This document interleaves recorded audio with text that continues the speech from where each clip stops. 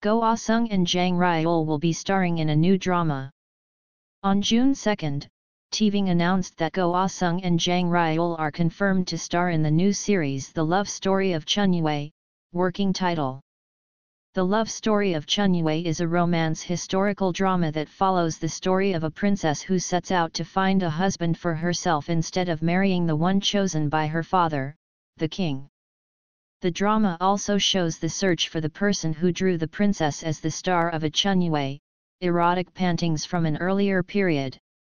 Go Ah Sung, who impressed through various projects including the Tracer series and Life on Mars, will take on the role of Hwa Ri, the youngest princess in the royal family who grew up in a free-spirited way and leads an independent life. Jang Ryul, who received great attention by playing the lead role in Bargain that won Best Screenplay at this year's Cannes International Series Festival, will play the role of Choi Hwan, the richest merchant in the country and the first husband candidate for Princess Hwa Ri.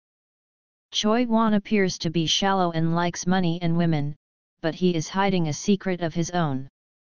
The love story of Chunhwa will be produced by Beyond J, the production company behind dramas such as Nevertheless, The Killer's Shopping List, Recipe for Farewell, and Somebody, and is set to be released in 2024. Stay tuned for more updates.